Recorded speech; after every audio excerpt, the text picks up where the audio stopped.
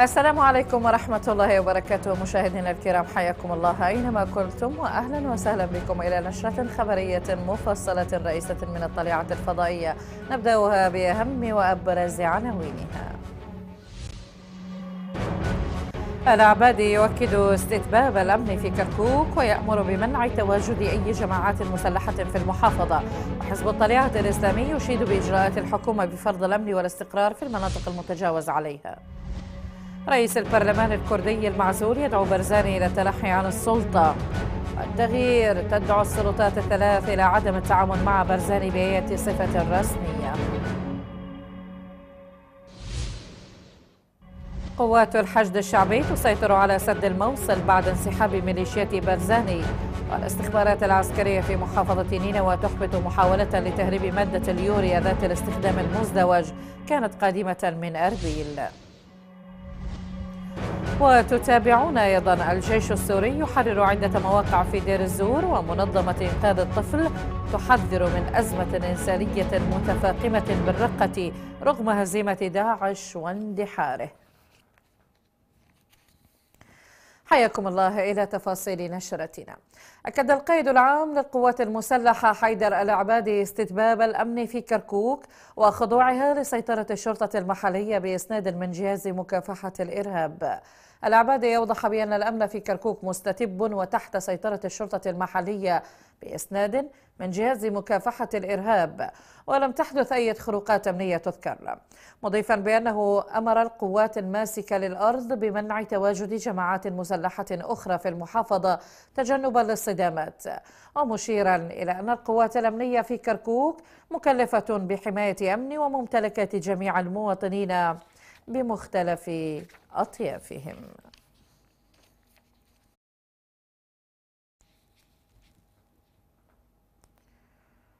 أشاد حزب الطليعة الإسلامي بإجراءات السيد رئيس الوزراء الدكتور حيدر العبادي والحكومة بفرض الأمن في المناطق المتجاوز عليها. الأمانة العامة للحزب وفي بيان لها أكدت على ضرورة إدامة التعايش السلمي بين أبناء العراق للمحافظة على الثروات الوطنية. مشيدا بالإجراءات الدستورية والقانونية للحفاظ على وحدة البلاد من الانتهازيين الذين يبحثون عن مصالحهم الشخصية على حساب أبناء الشعب الكردي. مجددة دعمها للحكومة في إطار حملتها لمعالجة المشاكل السياسية والاقتصادية من خلال احترام القوانين والدستور العراقي وضرورة الحفاظ على الاستقرار السياسي والمجتمعي الذي يشجع العالم على دعم العراق في مجالات الاستثمار وبناء عراق جديد موحد. ونبقى في الشان ذاته إذا أكد محافظ كركوك وكالة الركان الجبوري بأن مجلس المحافظة سيعيد خطة لإعادة النازحين إلى مناطقهم المستعادة. الجبوري أوضح بأنه أمر بوضع خطة لإعادة النازحين إلى المناطق التي استعادتها القوات العراقية من سيطرة داعش الإرهابي. مبينا بأن مجلس المحافظة ناقش تأجيل امتحانات الدور الثالث في مدارس تربية كركوك نظرا للظرف الاستثنائي فيها. ومشددا على ضرورة قيام كافة الدوائر بإيصال الخدمات لقضاء الحويجة والمناطق المستعادة. إلى ذلك أكدت النائبة عن ائتلاف دولة القانون زينب الخزرجي أكدت بأن بسط الأمن وتطبيق القانون والدستور في محافظة كركوك وطرد عصابة مسعود برزاني منها قد أجهض المشروع الصهيوني الرامي إلى تقسيم العراق ودول المنطقة. خزرجي طالبت الحكومة والقضاء والأحزاب الكردية والشعب العراقي بكل مكوناته بالقبض على برزاني ومقاضاته على الجرائم التي ارتكبها بحق الشعب العراقي واسترداد أموال الشعب التي سرقها من خلال تهريب النفط بعيدا عن الحكومة المركزية طيلة السنوات السابقة.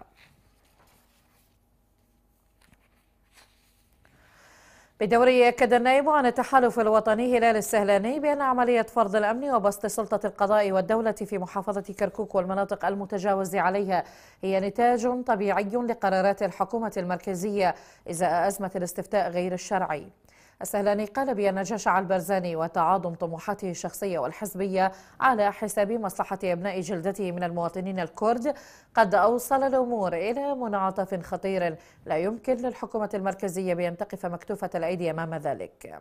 مؤكدا بأن تقدم القوات الاتحادية بجميع تشكيلاتها لاستعادة هيبة الدولة وفرض سلطة القانون جاء بموجب الصلاحيات الدستورية لحكومة بغداد في كافة المناطق التي تم الاستيلاء عليها من قبل جهات وأشخاص يدعون ويدعون إلى تقسيم العراق.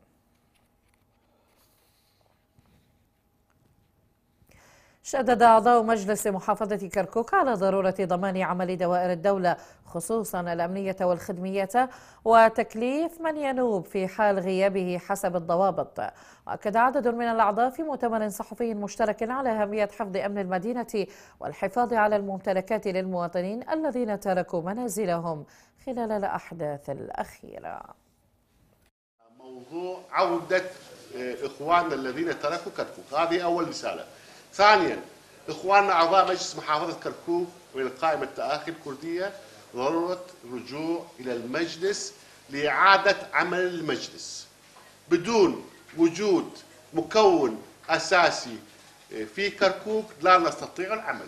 يعني التركمان والكرد والعرب والإخوان المسيحيين موجودين في المجلس نستطيع العمل بصورة دقيقة ولكافة مكونات كركوك. ثالثا على دوائر الدولة مدراء دوائر الدولة آه، العودة لدوام ممارسة. عملهم.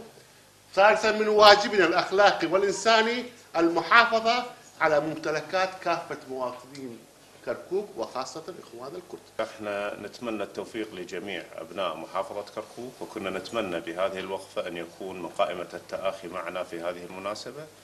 ولكن للظرف اللي موجود أو لأمور خاصة بإخواننا في مجلس المحافظة آه، أدى لعدم وجودهم. نتمنى من بكرة أن يكونون متواجدين في المجلس لإدارة أعمال المجلس وللخدمة التي تنتظرها جميع آه، مكونات مجتمع كركوك. آه، نتمنى التوفيق للجميع والمحافظة هي هي ونطلب من جميع من له مصلحة في التصعيد أن يكف عن التصعيد لأبناء على أبناء هذه المحافظة لأن الضرر على الكل ولا يوجد فائدة ما عدا لأشخاص يستفادون فائدة شخصية. نتمنى بأن يكون الالتزام والتعايش والحرص على أمن هذه المدينة هو هدف الجميع.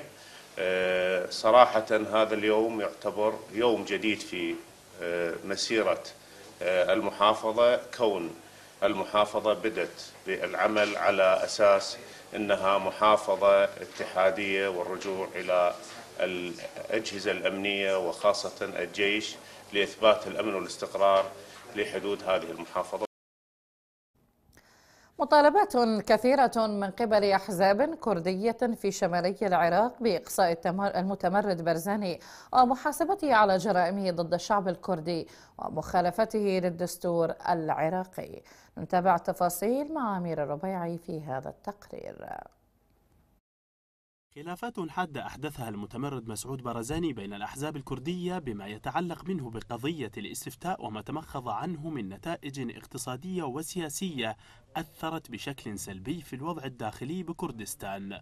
وبلغت تلك الخلافات ذروتها بعد تحرك القوات الأمنية نحو كركوك وعدد من المناطق المتاخمة لها وهذا ما يخالفه به بعض الكتل والأحزاب الكردية وعلى رأسها الاتحاد الوطني الكردستاني. كثير من المطالب اليوم. هناك نشهد اليوم محاولة لتغيير حتى عاصمة الإقليم. باعتبار هنالك رأي موجود ورأي معتد به أن تنتقل عاصمة الإقليم إلى السليمانية. باعتبار أن السليمانية أكثر رضوخا ورزانة وانسجاما مع القانون ومع حفظ الدولة مع الدستور مع تطبيق آليات المحكمة الدستورية مع تطبيق قرارات البرلمان مع تنفيذ أوامر الحكومة المركزية. وتطالب أحزاب كردية بضرورة تشكيل حكومة انتقالية في شمال العراق لغرض إدارة الحوار مع الحكومة المركزية فيما أكدت حركة التغيير بأن الوضع في كردستان لا يعالج إلا بتنحي برزاني عن رئاسة الإقليم. اليوم الأصوات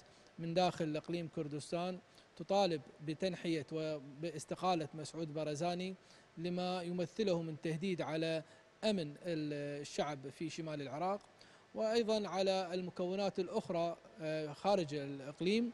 المفروض من السياسيين الأكراد آه، معاقبة ومحاسبة مسعود برزاني على هذه الخطوة وحتى على الحكومة العراقية يجب عليها متابعة مسعود برزاني ومحاسبته بسبب الإدارة الفاشلة وهدر المال العام في الفترات السابقة. خطوة برزاني الأخيرة في الاستفتاء فجرت المواقف ضده بل إنه كان يتصور بأن الدولة باتت ضعيفة بعد خروجها من المعركة ضد داعش فأراد اغتنام الفرصة لتطبيق حلمه على الرغم من الرفض الإقليمي والمحلي والدولي. مواقف برزان الأخيرة وإصراره على المضي في الاستفتاء أثارت غضب الكثير من الأحزاب الكردية المناهضة لذا فقد تشهد الأيام القليلة القادمة إقصاء له من العملية السياسية في شمال العراق. لقناة الطليعة الفضائية أمير الربيعي بغداد. إذا مشاهدينا الكرام للحديث أكثر عن مجمل الأوضاع الآن في كركوك ينضم إلينا عبر الهاتف مراسلنا من هناك الزميل حيدر عودة. بداية حيدر مرحبا بك معنا في نشرتنا الخبرية. حيدر كيف تصف لنا الآن الأجواء الأمنية بصورة عامة في محافظة كركوك؟ حياكم الله. حياك الله. اليوم محافظة كركوك تشهد أمانا واسعا وانتشار قوات عراقية وأيضا شرطة كركوك اليوم تسلمت رسميا الملف الأمني من قبل قيادة عمليات شرق دجلة خلال المؤتمر الذي عقد اليوم داخل محافظة كركوك وحضور أيضا محافظ كركوك في الوكالة ركان سعيد وقائد قيادة عمليات شرق دجلة ومدير شرطة كركوك. لكن هناك البارحة كان حرق لبعض المحلات وتجول بعض المسلحين خارج على القائمة لكن تم السيطرة عليهم وإلقاء القبض على هذه العصابات. كانوا يحاولون زعزعة النظام آه، والأمن داخل المحافظة لكن شرطة كركوك والاجهزه الامنيه المتواجده اليوم سيطرت بشكل كامل على هذه العصابات وإلقاء القبض عليها. نعم. طيب حيدر صف لنا الحياة اليوم في كركوك. كيف هي الحياة اليومية والدوام بالنسبة للطلبة في الدواء في المدارس وكذلك بالنسبة للموظفين في آه، دوائر الدولة؟ نعم بالنسبة للدوائر الدولة آه، هناك حركة بطيئة نعم. آه، بسبب الوضع الأمني غير المستقر. بالنسبة لهم لأن بعض الإشاعات التي تتوارد آه، تقول إن هناك إصابات وهناك ناس يتجولون. لهذا اليوم القوات الأمنية تؤكد على الدوام وأيضا الاجتماعات التي عقدت والمؤتمرات تؤكد على الدوام الرسمي ومتابعة الحركة وأيضا ابتداء الدوام. في داخل المدارس لكن تم تأجيل الامتحانات الوزارية للصفوف المنتهية بسبب الوضع الأمني. نعم. لكن تأكيدات من قبل القيادات الأمنية على الموظفين المباشرة بالدوام والذهاب ولا يوجد أي شيء. وأيضا عودة العوائل النازحة التي أو التي ذهبت إلى شمال العراق وعودتها إلى كركوك اليوم. نعم. طيب حيدر بالنسبة للأوضاع المعيشية مثلا كالأسواق والمحال التجارية كيف هي آه، الأسعار؟ هل هناك آه، ارتفاع في الأسعار أم الأمور كلها طبيعية؟ لا لا يوجد أي ارتفاع في محافظة كركوك للأسعار بالعكس نعم. الأسعار جيدة جدا لكن الحركة بطيئة.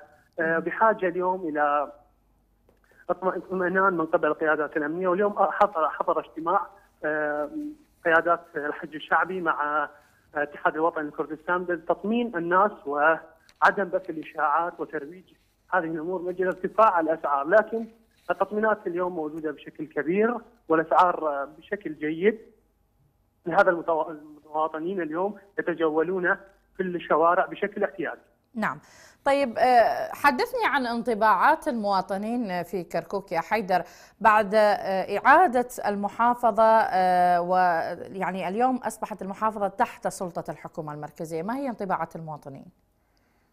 نعم انطباعات المواطنين هناك انطباع جيد جدا وفرحة داخل مدينة كركوك بسبب رفع العلم العراقي والسيادة العراقية داخل محافظة كركوك وإنهاء العهد القديم اليوم المواطنين فرحون جدا وسعداء بهذه الخطوة السيادية داخل المحافظة أجل آه، الحصول على حقوقهم المنتهكة في العهود السابقة التي حكمها المحافظ المقال واليوم أصدر قرار بإقالة المحافظ السابق لهذا مواطنين كركوك يشجعون على هذه الخطوة الجيدة وهم سعداء بهذه الخطوة لأنها تضمن لهم حقوقهم والعدل والمساواة داخل هذه المحافظة.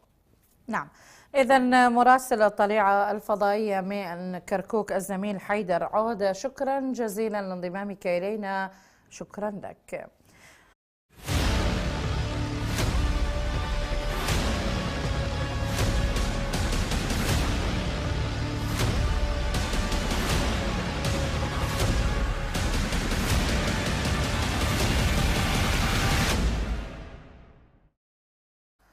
أهلا بكم من جديد. سياسيا عقد مجلس النواب جلسته السادسة والعشرين برئاسة رئيس المجلس سليم الجبوري وحضور 165 نائبا. بيان للدائرة الإعلامية للمجلس أوضح بأن جدول أعمال الجلسة تضمن استكمال التصويت على مقترح قانون تعديل قانون المفوضية العليا المستقلة للانتخابات وقراءة تقرير عمل لجنة الخبراء لاختيار أعضاء المفوضية العليا المستقلة للانتخابات. وكذلك استكمال التصويت على مشروع قانون التعديل الثالث لقانون المحافظات غير المنتظمة بإقليم. إضافة إلى التصويت من حيث المبدأ على مقترح قانون تعديل قانون انتخابات مجلس النواب والتصويت على مشروع قانون تصديق اتفاقية التشجيع والحماية المتبادلة للاستثمارات بين حكومة جمهورية العراق وحكومة الجمهورية الإسلامية الإيرانية. نبقى بالشأن السياسي. ادعى رئيس برلمان شمال العراق المعزول يوسف محمد المنتهي ولايته مسعود البرزاني إلى التنحي عن السلطة بعد أحداث كركوك وترك الشعب الكردي لتقرير مصيره بنفسه. محمد أضاف بأن الجميع اليوم أسرى لنخبة سياسية تعمل للسيطرة على ثروات الوطن من أجل توسيع سلطتها والمتجارة بتضحية الشعب ودمائه. مشيرا إلى أن بطولات البيشمركة رسمت صورة جميلة من المقاومة والتضحية معربا عن أسفه لعدم التمكن من جعل هذه التضحيات أساسا لحكم شرعي ودستوري وحضاري. على حد قوله. بدوره يبدأ النائب عن كتلة التغيير النيابية وشير عبد الله استغرابه من عدم تقديم مسعود البرزاني استقالته من منصبه. متهما إياه بالتشبث بشكل غير شرعي بالمنصب. عبد الله طالب جميع الجهات الدستورية والقانونية والرئاسات الثلاث بعدم التعامل بشكل مباشر أو غير مباشر مع برزاني بأية صفة رسمية خاصة كرئيس لشمال العراق. لأن ذلك يعد إساءة للشعب الكردي وتجاوزا على القانون والدستور العراقي. داعيا جميع الأطراف إلى التعاون مع المؤسسات الدستورية والأحزاب السياسية الكردستانية لإعادة الشرعية والمشروعية للعملية السياسية في شمالي العراق من أجل البدء بحوار بناء بين أربيل وبغداد للخروج من هذه الأزمة. في هذه الأثناء اتهمت الجماعة الإسلامية الكردستانية المنتهية ولايته مسعود البرزاني بسرقة نفط شمالي العراق طيلة الأعوام السابقة لصالح عائلته وحزبه. عضو الجماعة حسين إسماعيل قال بأن خيرات شمال العراق من النفط والسياحة تذهب طيلة السنوات السابقة لصالح العائلة البرزانية وغالبية الموظفين من دون رواتب. داعيا الأحزاب الكردية إلى إظهار رأيها ومنع برزاني من التمدد في السلطة والتسلط على رقاب الشعب الكردي. من جانبه أيضا اتهم النائب عن التحالف الوطني حنين القدو المنتهي ولايته. مسعود البرزاني اتهمه باستخدام عناصر داعش الإجرامي ومسلحي حزب العمال الكردستاني ضد القوات الأمنية العراقية. داعيا الحكومة إلى محاسبته بتهمة الإرهاب. قد أوضح بأن البرزاني استخدم خلال صد تقدم القوات الأمنية العراقية لفرض القانون عناصر إرهابية من داعش المحتجين لدى البيشمركة بعد تسليحهم. وكذلك الحال مع حزب العمال الكردستاني والمصنف دوليا ضمن لائحة الإرهاب وعليه يجب أن يحاسب البرزاني وفق قانون الإرهاب. مضيفا بأن برزاني اليوم أفلس سياسيا وفقد الدعم الدولي والإقليمي والحكومي وحتى الشعبي وعلى الشعب الكردي إخراجه من السلطة وتعيين شخص قادر على تحقيق تطلعات الكرد بعيدا عن التشنجات والحروب. هذا وأكد رئيس كتلة الحكمة النيابية حبيب الطرفي عدم ارتباط ما جرى في كركوك والمناطق المتجاوز عليها بنتائج الاستفتاء وإجراءاته. الطرفي قال بأن ما جرى من دخول لقوات مسلحة كان ضمن خطة لتصحيح مسار الحكومة العراقية لفرض سلطتها على الموارد الاقتصادية المنهوبة من قبل الأحزاب الكردية وإعادة هيبة الدولة في جميع المناطق ولا يمكن ربطه بالاستفتاء. مبينا بأن أي مباحثات ستجري ستكون بعيدا عن كركوك والمناطق المتجاوز عليها. مشيرا إلى أن الحكومة لا تعترف بالأصل بالاستفتاء وكل ما يترتب عليه غير معترف به دوليا. دعت النائبة عن كتلة الاتحاد الوطني الكردستاني آلا طلباني إلى تشكيل حكومة انتقالية في شمالي العراق تتجاوز النكسات حسب تعبيرها برئاسة الدكتور برهم صالح.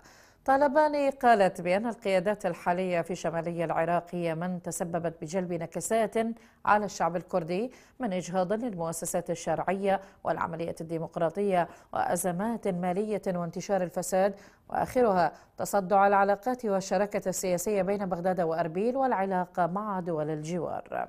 مضيفا بأن الحل يكمن في تشكيل حكومة انتقالية تشترك فيها كل القوى الخيرة من أجل إعادة التفاهمات والشراكات السياسية التي من شأنها تحقيق مصالح الشعب الكردي. وفقا للدستور. أكد النائب عن كتلة بدر النيابية قاسم العبودي على أهمية إخضاع شمال العراق إلى معايير واضحة للانتخابات. العبودي قال بأن هناك شخصيتان كرديتان سينتهي مستقبلهما السياسي وهما محافظ كركوك الهارب دكتور نجم الدين كريم ومسعود برزاني واللذين تسببا بإشعال الأزمة بين بغداد وأربيل لإصرارهما على الاستفتاء. مضيفا بأن ولاية برزاني انتهت ولم يعد مقبولا إقليميا وداخليا ووجوده سيثير المزيد من التعقيدات بالإضافة إلى عدم خضوعه لقوة المنطق.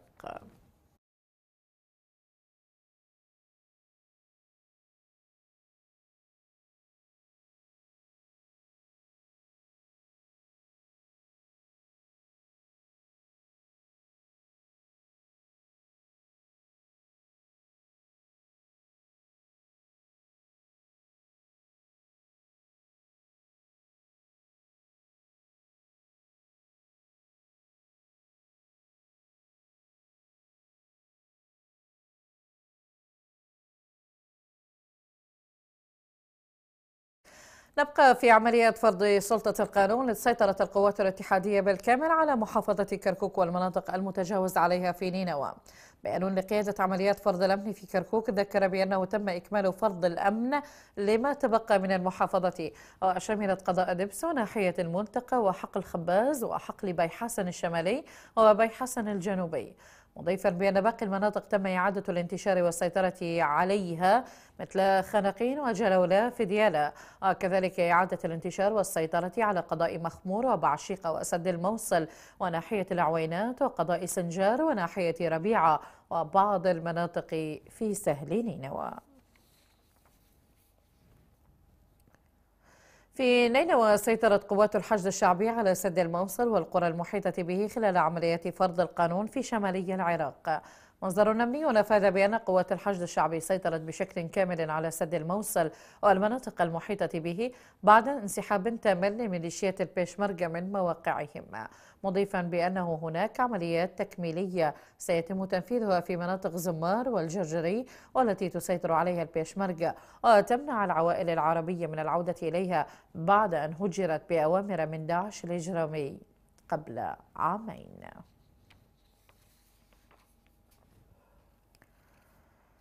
أمنيا أحبطت مديرية الاستخبارات العسكرية عملية لتهريب 28 طنا من مادة اليوريا ذات الاستخدام المزدوج وملاحقة المهربين. المديرية في بيان لها أوضحت بأن قوات الاستخبارات أحبطت عملية تهريب لمادة اليوريا ذات الاستخدام المزدوج كانت قادمة من أربيل إلى نينوى. وألقت القبض على المهربين في سيطرة كوكتشيلي في أيسر الموصل. مضيفة بأن هذه المادة تستخدم في تفخيخ العجلات وصناعة العبوات. مشيرة إلى أن المديرية قامت على الفور بإحالة المهربين للقضاء والتحفظ على المواد لحين صدور قرار المحكمة بشأنهما.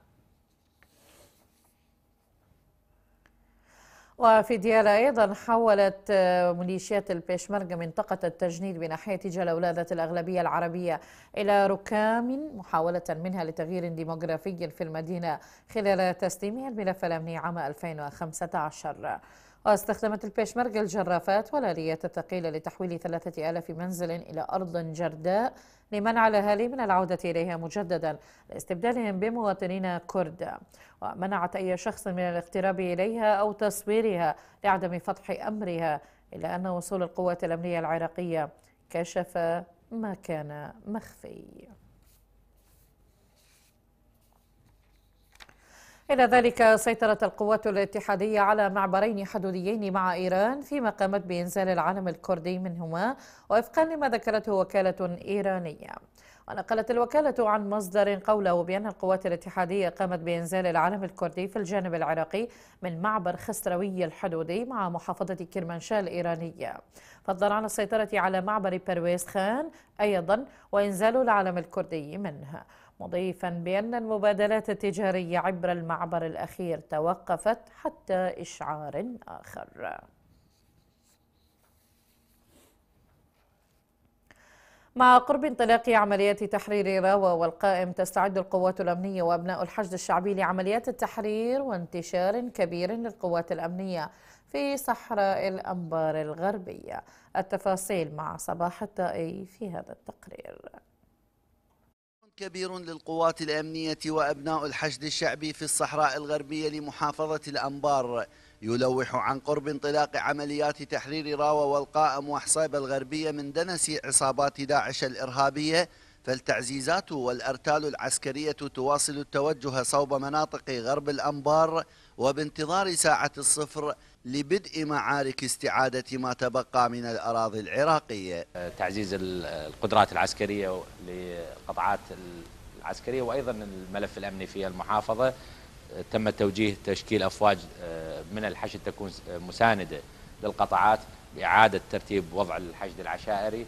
آه، وأكد دولة الرئيس على آه، دعم محافظة الأنبار. تعتبر قيادة عمليات شرق الأنبار من القيادات الساندة إلى هذه القيادة من أجل تحرير ما تبقى من أرض غرب الأنبار من دنس دواعش إن شاء الله العمليات في الأيام القادمة والتخطيط جاري في قياس عمليات مشتركة من أجل تحرير هذه المناطق ضمن قياس عمليات الجزيرة والبادية كتيبة الجهد الهندسي بدورها قامت بفتح ممرات آمنة تارة لدخول القوات الأمنية واقتحام المناطق وأخرى لخروج العوائل حيث تم وضع اللمسات الأخيرة بمشاركة قطاعات الجيش متمثلة بعمليات الجزيرة والبادية والفرقة السابعة والشرطة الاتحادية وجهاز مكافحة الإرهاب والحشدين الشعبي والعشائري بالإضافة إلى طيران القوة الجوية العراقية. ونحن عازمين على تحرير آخر شبر من أرض العراق ثم الأنبار. وحاليا تم نشر فوج آه، من لواء عملية الصمود من آه، من آه، كتائب حزب الله إلى اتجاه الحبانية لتأمين منطقة العامرية. والله أقول يا إخواني اصبروا وصابروا فإن النصر صبر ساعة. لقد كنا قبلكم حالنا كحالكم لكن من الله تعالى علينا أن خلصنا من هذه العصابات. فشمروا عن ساعد الجد وانتصروا لكرامتكم وكونوا عونا للقوات المسلحة وثوروا على هذه العصابات الإجرامية الغازية التي دمرت ما استطاعت أن تدمره. حتى تعودوا إلى دياركم بأمن وأمان كما عاد غيركم إن شاء الله. تستعد القوات الأمنية بمختلف صنوفها مسنودة بأبناء الحشد الشعبي لعمليات تحرير راوة والقائم وحصيبة الغربية وتأمين الشريط الحدودي بين سوريا والعراق استكمالا للعمليات الأولى التي انطلقت بتحرير عانة وريحانة وعكاشات في غرب الأنبار. لقناة الطليعة الفضائية صباح الطائي الأنبار. اجتمع ممثلي فصائل المقاومة الإسلامية في مكتب حزب الطليعة الإسلامي بمحافظة ميسان لمناقشة النهوض بالواقع السياسي والخدمي والأمني وتأمين الزيارات الدينية المقبلة. الزميل مجتبى هاشم معه المزيد في هذا التقرير.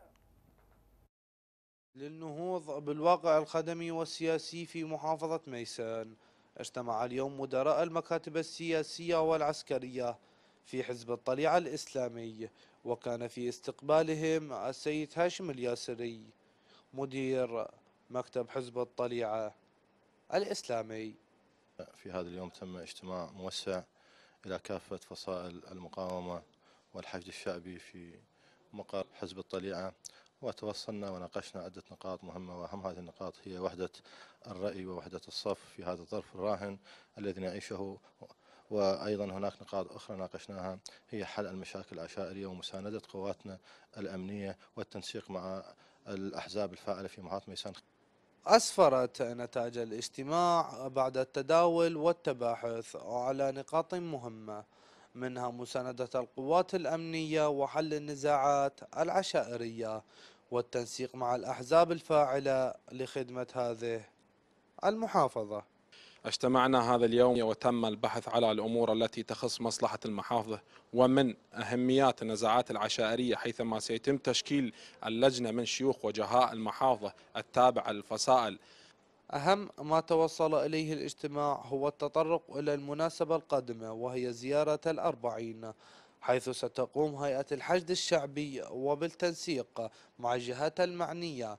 بنشر القوات من جميع فصائل المقاومة على الطريق الرابط بين منفذ الشيبة الحدودي ومحافظة ميسان وطريق ميسان ناصرية حيث المحافظة ستشهد زخما كبيرا من الزوار الإيرانيين وزوار محافظة البصرة والأغذية والنواحي التابعة لمحافظة ميسان. تم اليوم دعوة فصائل المقاومة وتم التباحث خلال هذا الاجتماع ومحاورة وكانت محاورة آه، تتعلق بما يخص المحافظة من الجوانب السياسية والأمنية والاجتماعية. عفوا أهم الاستنتاجات اللي استحصلت من خلال هذا الاجتماع؟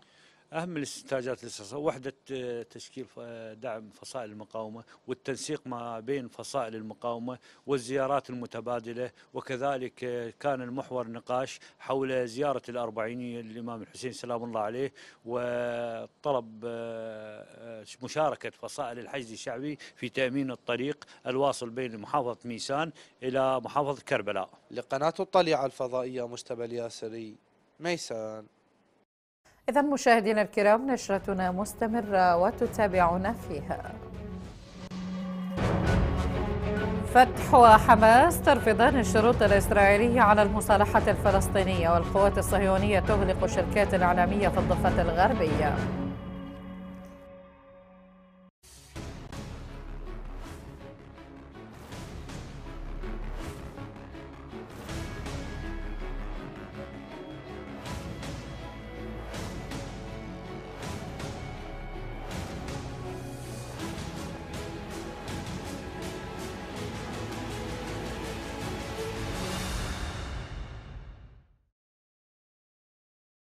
أهلا بكم من جديد إلى الأخبار العربية والدولية. حررت القوات السورية عدة مواقع في ريف دير الزور الشرقي بعد تكبيد داعش الإجرامي خسائر جسيمة بالأرواح والمعدات. مصدر عسكري قال بأن وحدات الجيش وبعد سيطرتها على مدينة الميادين بدأت عمليات واسعة ودقيقة لاجتثاث المسلحين من القرى والبلدات المنتشرة بين الميادين والمريعية في الضفة الغربية لنهر الفرات. مؤكدا استعادة قرى بقرص تحتاني والعليات وسط انهيارات في صفوف العدو. وأضاف المصدر بأن عمليات الجيش أسفرت عن مقتل العشرات من مجرمي داعش فضلا عن تدمير تحصينات وأسلحة وذخائر كانت بحوزتهم. دعا رئيس مجلس الشورى الإسلامي في إيران علي لاریجاني إلى التعاون الإقليمي لحل الأزمة في سوريا مؤكدا على وحدة أراضيها. واللاریجاني قال بأن العديد من الدول تشدد على أن تعاون إيران وروسيا وتركيا لحل الأزمة في سوريا هو أمر إيجابي مشيرا إلى أن طهران وموسكو تلعبان دورا مهما في القضاء على العصابات الإجرامية. ومؤكدا بأن بلاده انتخبت مسارا مدروسا ومعربا عن أمله في استمرار هذا المسار. حذرت منظمة إنقاذ الأطفال الدولية من أن انتهاء العمليات العسكرية في مدينة الرقة السورية لا يعني انتهاء الأزمة الإنسانية المتفاقمة في هذه المنطقة. ودعت المنظمة المجتمع الدولية إلى مساعدة الأطفال الذين يعيشون في ظروف صعبة للغاية. رغم تحرير الرقة من داعش فإن الوضع الإنساني يزداد سوءا فأكثر من ربع مليون شخص فروا من المدينة نصفهم على الأقل من الأطفال وهم يعيشون في ظروف بائسة ومعرضون للخطر وكثير منهم مصابون بصدمات نفسية ولا يستطيع بعضهم العودة بسبب هدم منازلهم. لذا نحث المجتمع الدولي على استثمار جزء بسيط من الموارد التي أنفقها في الحرب ضد داعش على إعادة بناء حياة هؤلاء الأطفال وهم بحاجة إلى الحماية والأهم من ذلك أنهم بحاجة إلى التعليم. وإلى لبنان إذا أحيا حزب الله اللبناني الذكرى السنوية الأولى لاستشهاد قائد القلمون الحاج حاتم حمادة الحاج علاء في احتفالية مهيبة حضرها جمع من رجال المقاومة الإسلامية. هبة زين والتفاصيل في هذا التقرير من هناك. الله الذكرى السنوية الأولى لاستشهاد الشهيد القائد الحاج حاتم حمادي وذلك في احتفال تأبيني في مجمع المجتبى عليه السلام في الضاحية الجنوبية لبيروت. بحضور رئيس المجلس التنفيذي في حزب الله السيد هاشم صفي الدين الذي ألقى كلمة أكد فيها على استمرارية نهج المقاومة على الرغم من كل التحديات التي تمر بها المنطقة. نحن جميعا في لبنان وفي المنطقة أمام مرحلة جديدة. نقول للجميع لمن يحب المقاومة وهو حريص عليها اطمئنوا لا داعي للقلق. ولا تلتفتوا إلى كل الكلام الذي يأتي من بعيد أو من قريب من وسائل إعلام لبنانية أو وسائل إعلام أجنبية. لا تلتفتوا إلى كل هذا ثقوا بمقاومتكم واعلموا أن المقاومة مرتاحة وقوية وواثقة وقادرة على مواجهة كل التحديات. الله تعالى. الحاج علاء رجل ضباع طويل في قتال العدو الإسرائيلي في محاور المواجهة الأمامية إبان الاحتلال حتى في الالتحامات المباشرة. في عام 2013 بزغ نجم الحاج علاء كأبرز قادة المقاومة الميدانيين من عملية تل النبي مندو في ريف القصير الجنوب الغربي إلى معركة القصير في التاسع عشر من أيار. حاز الحاج علاء على ثقة قيادة المقاومة الإسلامية وقد وصفه من كان معه بالجنرال من الطراز الأول. وفي العام 2015 قاد عمليات الزبداني في ريف دمشق الغربي محققا إنجازا جديدا يضاف إلى سجله الحافل. أما في العام 2016 كان محطته الأخيرة في حلب حيث استشهد. هذه المقاومة أصبحت جزء من محور كبير محور تجتمع يجتمع فيه كل الأحرار كل الشرفاء في عالمنا. هذا ضد محور الشر. هذا المحور بما فيه الحشد الشعبي وبما فيه كل الحركات التحررية في المنطقة تقدم انتصارات عظيمة وكبيرة وتقدم هذه الانتصارات دون مقابل فقط دفاعا عن كرامتها وعزتها دفاعا عن قناعاتها دفاعا عن ما تؤمن به. تجاه هذه الشعوب المستضعفة من رفع الظلم والضيم والاضطهاد عنها.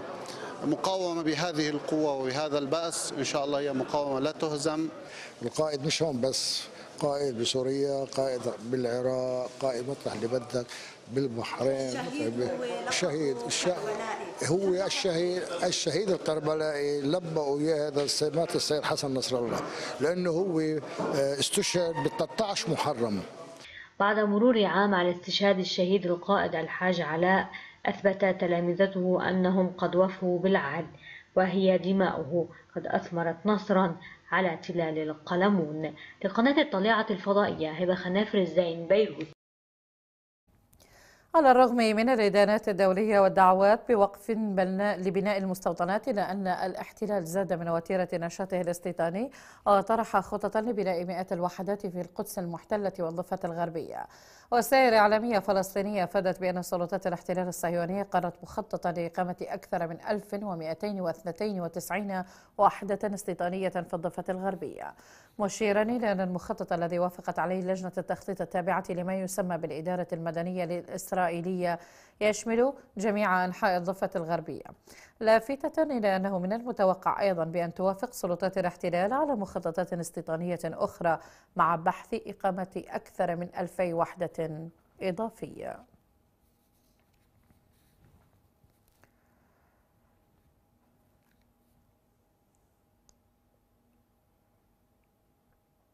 شددت حركة فتح وحماس الفلسطينيتين على رفض الشروط الإسرائيلية على المصالحة الوطنية والتي تمت برعاية مصرية في القاهرة. متحدث باسم الرئاسة الفلسطينية نبيل بردين قال بأن ما تم الاتفاق عليه في القاهرة برعاية مصرية يسير في الاتجاه الصحيح لإنهاء الانقسام. مضيفا بأن آية ملاحظات إسرائيلية لن تغير من الموقف الرسمي بل مضي قدما فيها. ولفت بردين إلى أن المصالحة بين حركتي فتح وحماس مصلحة فلسطينية عليا.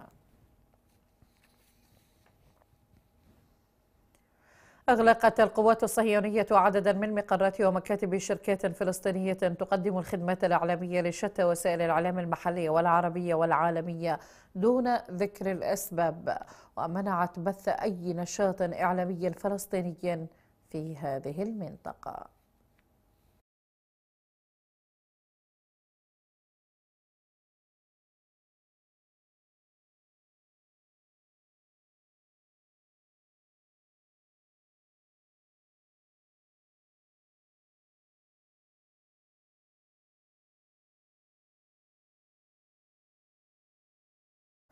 بدوره وصف الكاتب والمحلل السياسي حلمي الأعرج إغلاق الكيان الصهيوني للمقرات الإعلامية وصفه بالمجزرة بحق الصحافة الفلسطينية وحرية الرأي والتعبير والجريمة كذلك غير المسبوقة مجزرة بحق الصحافة الفلسطينية وبحق حرية الرأي والتعبير يهدف الاحتلال من خلال من خلالها إلى إسكات الصوت الفلسطيني الوطني والحر الذي ينقل الحقيقة للعالم عن جرائم الاحتلال وانتهاكاته اليومية بحق أرضنا وشعبنا.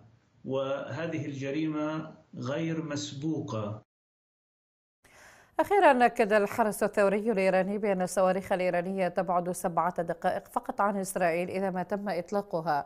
فيما هدد الولايات المتحدة بتسوية تل أبيب بالأرض في حال ارتكاب حماقة المساعد التنسيقي لقائد مقر ولي العصر التابع للحرس الثوري العقيد عبد الرضا علي قال بأن قوات التعبئة الشعبية التي تشكلت في سوريا لا تقتصر على الشيعة فحسب وإنما أهل السنة أيضا والذين يطلعون بدور كبير في هذه الساحات.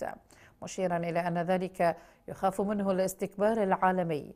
وأضاف العقيد علي بأن قيد الثورة الإسلامية آية الله العظمى الإمام علي الخامنئي يؤكد دوما على معالجة الثغرات وتعزيز نقاط القوة في القدرات الدفاعية والعسكرية لدى الحرس الثوري.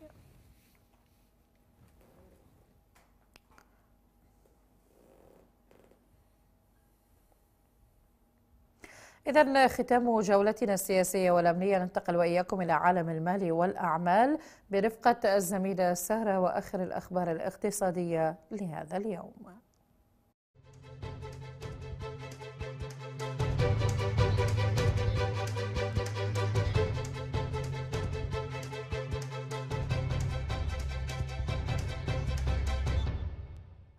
أهلا بكم متابعينا والأخبار الاقتصادية. إذ أعلنت الشركة العامة للتصميم وتنفيذ المشاريع إحدى شركات وزارة الصناعة والمعادن على الانتهاء من أعمال تأهيل وحدة تصفية المياه في منطقة النهروان بسعة 400 متر مكعب في الساعة. مدير عام الشركة هادي تشلوب العبودي أوضح أن شركته أكملت كافة أعمال التأهيل ووحدة تصفية المياه في النهروان وبسعة 400 متر مكعب في الساعة وتشغيلها وتزويد مجمع النهروان الصناعي بالمياه مشيرا إلى أن ملاكات الشركة قامت بتأهيل هذه الوحدة بالكامل وإنجاز كافة التحضيرات الخاصة وإعادتها إلى العمل. أعلن رئيس اللجنة الزراعية في مجلس محافظة الأنبار فرحان الدليمي عودة المساحات الخضراء الزراعية وزراعة المحاصيل المختلفة رغم قلة الدعم المقدم من وزارة الزراعة. الدليمي أوضح أن مدن الأنبار عادت إليها المساحات الخضراء الزراعية وبنسبة تتجاوز الستين بالمئة بعد عودة المزارعين إلى زراعة الأراضي وبمساحات واسعة مشيرا إلى أن أكثر من 1500 مرشة زراعية يدوية تعمل الآن في المساحات الزراعية في أقضية ونواحي الأنبار مع زراعة المحاصيل الشتوية المهمة لسد حاجة المستهلك ورفض الأسواق بما تحتاجه المواد من محاصيل ضرورية.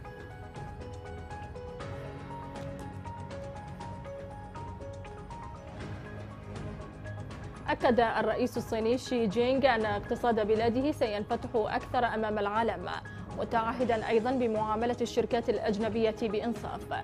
شي أوضح أن النظام سيحمي الحقوق والمصالح المشروعة للمستثمرين الأجانب وكل الشركات الأجنبية المسجلة في الصين ستعامل على قدم المساواة وبإنصاف.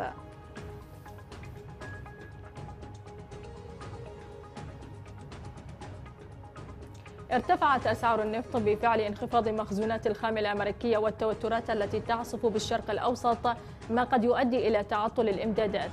هذا وارتفعت العقود الآجلة لخام برنت بنسبة 7 سنتات في المئة ليسجل 58 دولارا و27 سنتا للبرميل الواحد.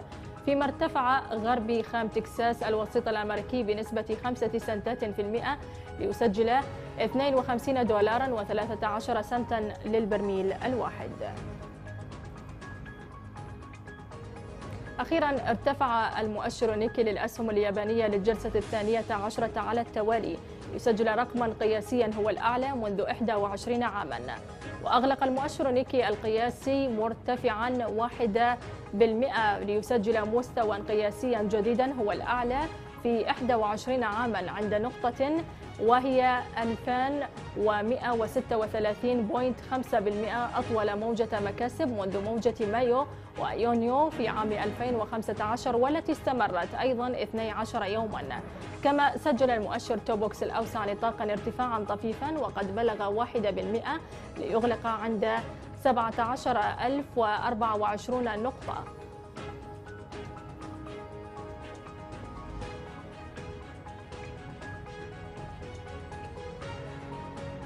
إذا متابعينا أخبارنا الاقتصادية انتهت. شكرا لكم على حسن المتابعة والإصغاء إلى اللقاء.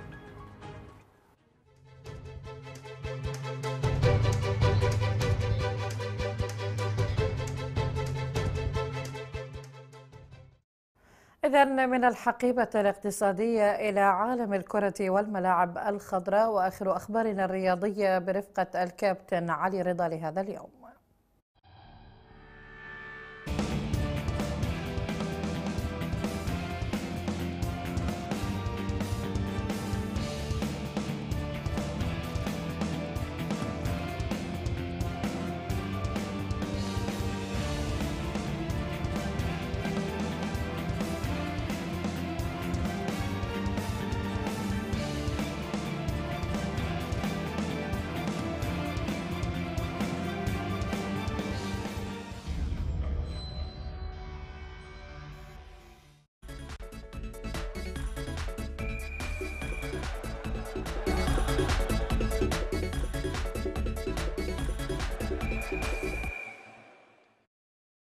أسعد الله مساءكم بكل خير. الأخبار الرياضية من قناة طليعة الفضائية أهلا وسهلا بكم.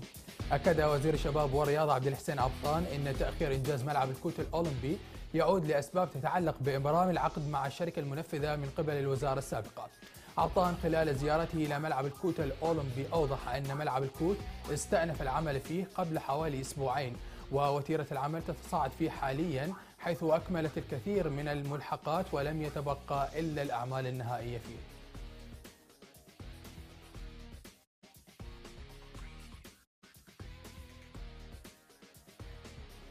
كشف اتحاد الكرة أن مباراته المفترضة إجراؤها مع المنتخب الأوغندي الشهر المقبل ألغيت وسيكون المنتخب السوري بديل المواجهة الودية في كربلاء. الاتحاد أوضح أن مباراة المنتخب الوطني مع منتخب الأوغندي ألغيت وسيكون المنتخب السوري بديلا عنه ليواجه أسود الرافدين في الرابع عشر من الشهر القادم. مبينا أن المنتخب الوطني سيكون جاهزا للمباراة الودية والتي تجري على أرض ملعب كربلاء.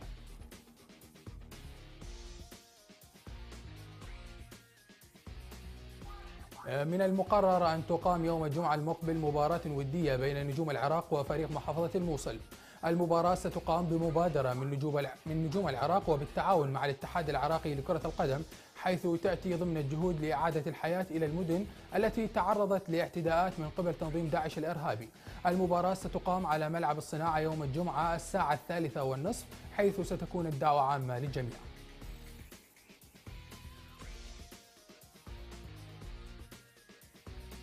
يستضيف ملعب نادي القوة الجوية لقاء أصحاب الدار مع ضيفهم الطلبة في لقاء ودي. ويأتي هذا اللقاء ضمن التحضيرات. تحضيرات القوة الجوية للبطولة الآسيوية فضلا عن الدوري الموسم المقبل. من جانبه فإن الطلبة هو الآخر بكادر التدريبي الجديد يبحث عن الاستقرار في تشكيلته.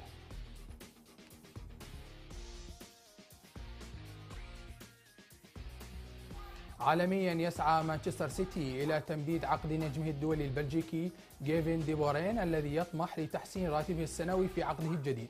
ويقدم ديبورين منذ التحاقه بمانشستر سيتي مستوى رائع ولعب دورا مهما في تصدر الفريق الدوري الإنجليزي ب 22 نقطة بفارق نقطتين عن مانشستر يونايتد.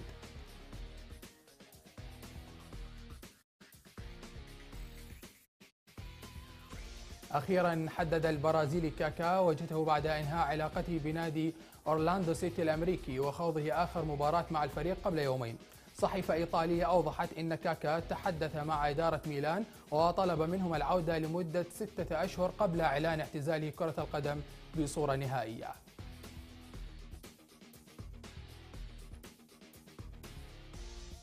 الأخبار الرياضية انتهت وهذه عودة للزملاء في استوديو الأخبار.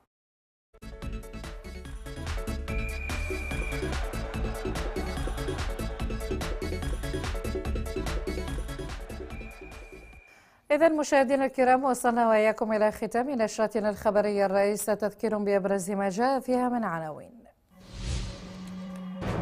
العبادي يؤكد استتباب الأمن في كركوك ويأمر بمنع تواجد أي جماعات مسلحة في المحافظة. حزب الطليعة الإسلامي يشيد بإجراءات الحكومة بفرض الأمن والاستقرار في المناطق المتجاوز عليها. رئيس البرلمان الكردي المعزول يدعو برزاني إلى التنحي عن السلطة. التغيير تدعو السلطات الثلاث إلى عدم التعامل مع برزاني بأي صفة رسمية قوات الحشد الشعبي تسيطر على سد الموصل بعد انسحاب ميليشيات برزاني. والاستخبارات العسكرية في محافظة نينوى تحبط محاولة لتهريب مادة اليوريا ذات الاستخدام المزدوج كانت قادمة من أربيل. وتابعتم الجيش السوري يحرر عدة مواقع في دير الزور. ومنظمة إنقاذ الطفل تحذر من أزمة إنسانية متفاقمة بالرقة رغم هزيمة داعش وانتحاره. إذا مشاهدينا الكرام وصلنا وإياكم إلى ختام النشرة. في الختام تقبلوا مني ومن الكادر أطيب التحايا والأمنيات دمتم في حفظ الرحمن وعونه. إلى اللقاء.